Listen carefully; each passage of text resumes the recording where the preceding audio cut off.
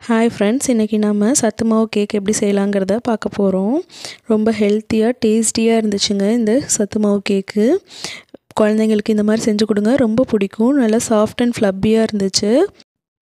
வாங்க எப்படி செய்யலாங்கிறத பார்க்கலாம். ஃபஸ்ட் அதுக்கு தேவையான இன்க்ரீடியன்ஸ் சத்து மாவு நான் வீட்டில் அரைச்சது தாங்க எடுத்திருக்கேன். அது வந்து ஒரு கப் எடுத்திருக்கேன். அதாவது டூ ஃபிஃப்டி கிராம்ஸ் எடுத்திருக்கேன்.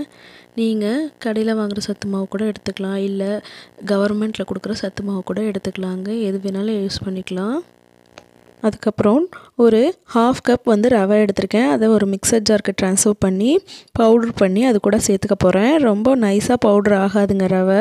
இன்றைக்கி நாம் இந்த நாட்டு சக்கரை வச்சு தான் செய்ய போகிறோம் அதுக்கு ஒரு ஹாஃப் கப் நாட்டு சக்கரை எடுத்திருக்கேன். அதை மிக்சர் ஜாருக்கு ட்ரான்ஸ்ஃபர் பண்ணி நைஸாக பொடி பண்ணி இது கூட ஆட் பண்ணிக்க போகிறேன் நீங்கள் இதுக்கு பதிலாக வெல்லம் கூட எடுத்துக்கலாம். வெள்ளத்தை நைஸாக பொடி பண்ணிவிட்டு அதுக்கப்புறம் ஒரு கால் கப் வந்து வாட்டர் ஆட் பண்ணி நல்லா கரைச்சது அதை வந்து ஃபில்ட்ரு பண்ணி நீங்கள் இது கூட ஆட் பண்ணிக்கலாம். நெக்ஸ்ட்டு இது கூட கால் கப் வந்து தயிர் ஆட் பண்ணிக்கிறேன். நல்லா கெட்டியான தயிர் லைட்டாக புளிச்சிருந்தா போதும்.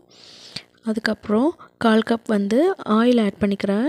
நீங்கள் வந்து எந்த ஒரு ஃப்ளேவரும் இல்லாத ஆயில் ஆட் பண்ணிக்கோங்க. நார்மலாக ரீஃபைண்ட் ஆயில் மட்டும் யூஸ் பண்ணிக்கோங்க. இப்போது ஒரு விஸ்க் வச்சு இது எல்லாத்தையும் கட்டி இல்லாமல் கரைச்சிக்கோங்க. அதுக்கப்புறம் நாம் மில்க் ஆட் பண்ண போகிறோம் மில்க் வந்து ஹாஃப் கப் ஆட் பண்ணிக்கிறோம்.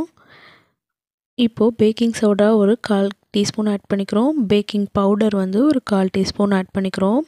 இதை மிக்ஸ் பண்ணுறதுக்கு முன்னாடி ஒரு கால் கப் வாட்டரை எடுத்து அது கூட ஆட் பண்ணி மிக்ஸ் பண்ணிக்க போகிறோம் அப்போ தான் நல்லா பொங்கி வரும்.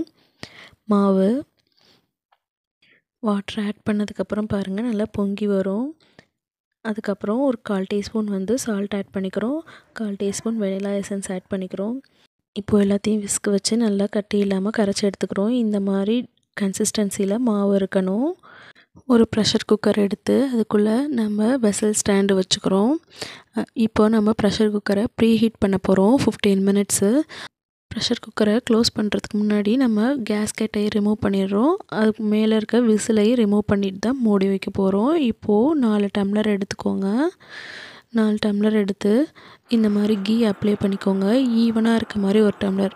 நாலுமே ஈக்குவல் சைஸில் இருக்க மாதிரி எடுத்துக்கோங்க.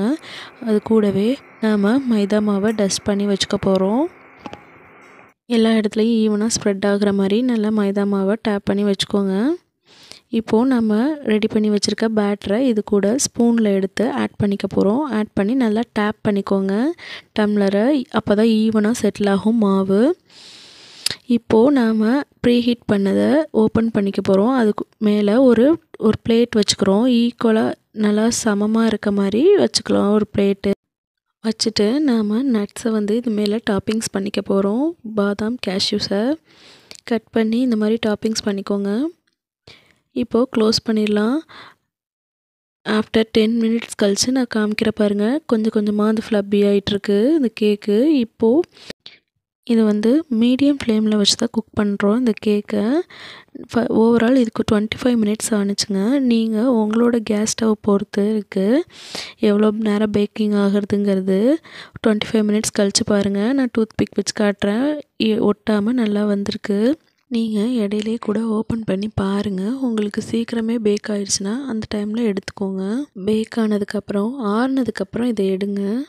இல்லைனா இடையில உடையறதுக்கு சான்சஸ் இருக்குது நல்லா கொஞ்சம் ஆறுனதுக்கப்புறம் எடுத்து ஓப்பன் பண்ணுங்கள் இப்போ பாருங்கள் எவ்வளோ சாஃப்டாக அழகாக நீட்டாக வந்துருச்சு பாருங்கள் கொஞ்சம் கூட உடையாமல் இது மாதிரி உங்கள் குழந்தைங்களுக்கு செஞ்சு கொடுங்க. ரொம்ப விரும்பி சாப்பிடுவாங்க. ஹெல்த்தும் கூட. ஹெல்த்தி அண்ட் டேஸ்டி சத்து மாவு கேக் ரெடி ஆயிடுச்சு நல்லா டேஸ்ட்டாக சூப்பராக இருந்ததுங்க. இந்த கேக் உங்களுக்கு பிடிச்சிருந்துச்சின்னா ஒரு லைக் பண்ணுங்கள் நம்ம சேனலை சப்ஸ்கிரைப் பண்ணாதவங்க சப்ஸ்கிரைப் பண்ணிக்கோங்க. கூடவே பெல் ஐக்கானையும் கிளிக் பண்ணிக்கோங்க. தேங்க்ஸ் ஃபார் வாட்சிங்